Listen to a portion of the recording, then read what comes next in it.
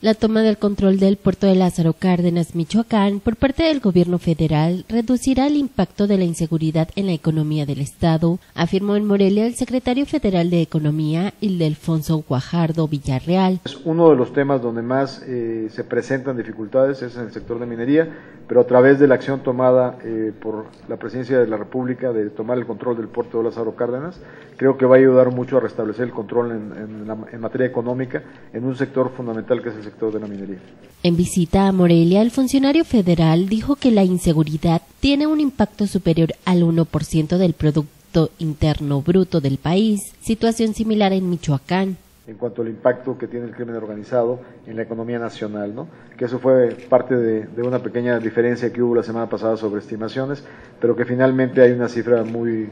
muy consolidada que está alrededor, poco más menos del 1% del impacto eh, en el nivel del Producto Interno Bruto Nacional.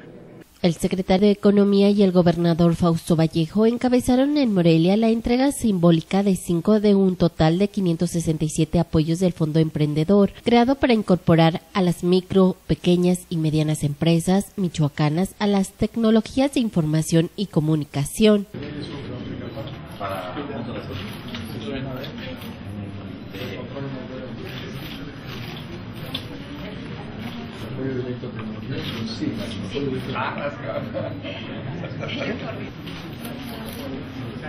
Tras anunciar que el cierre de este año, Michoacán recibirá apoyos por 100 millones de pesos de los diversos programas que opera la Secretaría de Economía Federal, Guajardo Villarreal ofreció impulsar proyectos estratégicos que den estabilidad económica y social al Estado. Con información de Sandra Sáenz, informa Cuasar TV.